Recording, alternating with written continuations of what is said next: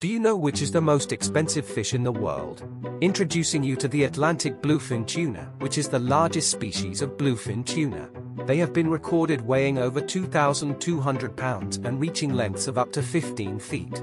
With an incredible and record-setting $3.1 million selling price, makes them the most expensive fish in the world. They are warm-blooded, which helps them maintain their body temperature in cold waters.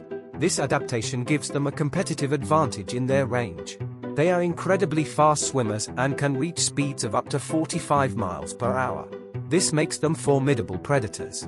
These tuna are known for their extensive migrations across the Atlantic Ocean. They can travel thousands of miles between their spawning grounds in the Gulf of Mexico and their feeding grounds in the North Atlantic.